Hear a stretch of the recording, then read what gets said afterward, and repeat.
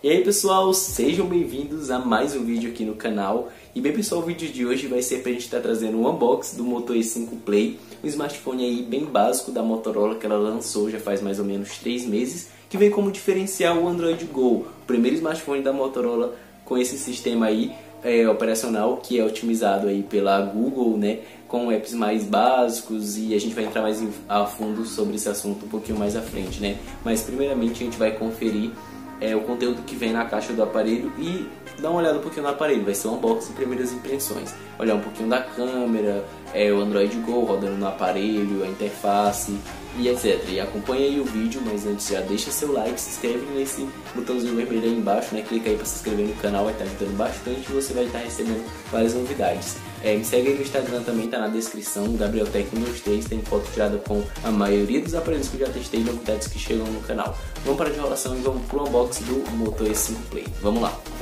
E basicamente o que vem na caixa é os tradicionais, né? Basicamente o smartphone, né? Smartphone aqui, a bandejinha e o cabo aqui, né? Que não é micro USB tipo C, é o micro USB 2.0, o tradicional, né, que a gente conhece aí.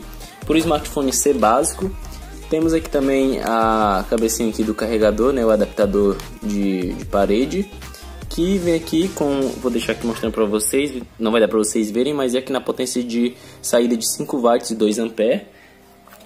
Uh, vem aqui também os fones de ouvido, bem básicozinho mesmo, esses fones bem, sabe? Bem básico. E basicamente só isso, o resto aqui é só os manuais, não tem mais nada. E agora vamos dar uma olhadinha no Moto E5 Play, né? Já tá ligado aqui, todo configurado, tudo bonitinho, né? E pessoal, uma mera coincidência aqui, né? São bem parecidos. E5 Play, Moto C Plus. Digamos que o Moto E5 Play é um upgrade, né? Uma, um Moto C Plus melhorado, digamos, né? Mas enfim, isso não vem ao caso. Vamos estar tá dando olhando aqui o E5 Play. Primeiramente que em design, design do aparelho é bem básico aqui, construído de plástico, né? O aparelho não é feio, né? Mas tem uma construção aqui mesmo de entrada, é o plástico. O legal é que ele vem com impressão digital, mesmo sendo um aparelho de entrada, né? Que é a câmera, o LED flash, é, aqui na lateral os botões, na frente aqui temos um flash frontal, a câmera, o sensor, o Motorola. Pessoal, ele vem na proporção, essa tela, ele tem uma tela de 5.3 e pessoal, a tela do aparelho não chega nem ser a resolução HD, ou a resolução inferior. E ela vem na proporção já de 18 por 9, isso é bem legal. Só que as bordas aqui de baixo, né, vocês podem ver que é bem grande, né?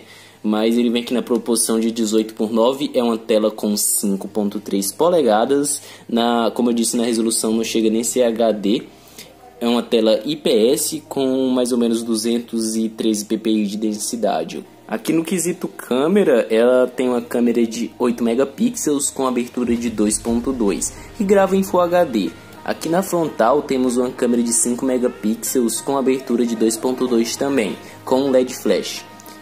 Aqui na câmera temos uma interface é, já conhecida por vocês, né? Nos Motorolas que temos por aí, temos aqui gravar, né? O interessante é que mesmo com o processador sendo básico, né? Ele grava sim em Full HD. As opções são bem limitadas ao panorama e câmera lenta. E aqui os tem o modo HDR e tem o modo manual também, olha só o modo, modo manual dele que você pode desfrutar e melhorar um pouco mais ainda as suas fotos.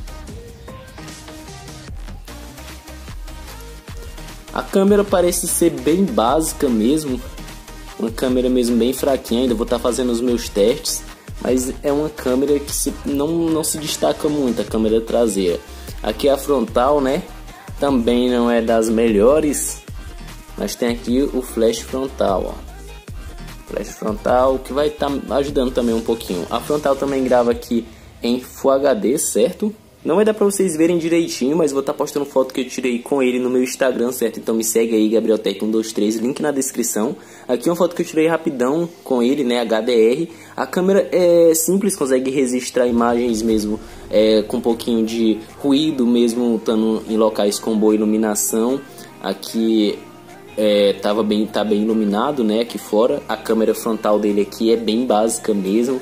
É, o pós-processamento dele não é muito legal Mas aí vou estar tá fazendo meus testes, né, profundamente, fazendo testes de câmera e vou estar tá postando as fotos no meu Instagram para vocês poderem ver direitinho. Vamos falar agora da interface do aparelho, né, que ele vem com o Android Go, o primeiro Motorola aí com Android Go, que é uma interface bem leve aí, feita para smartphones básicos como o Moto E5 Play aqui, com apps é, como o Google Go, YouTube Go, Gmail, o Google Assistente Go, que são aplicativos otimizados para esse tipo de aparelho, bem básico mesmo. O aparelho vem com apenas 1 GB de RAM, 16 GB de armazenamento, processador da linha 400, então é bem básico mesmo. Esses apps vão rodar bem no aparelho, pois foi otimizado pela Google, né?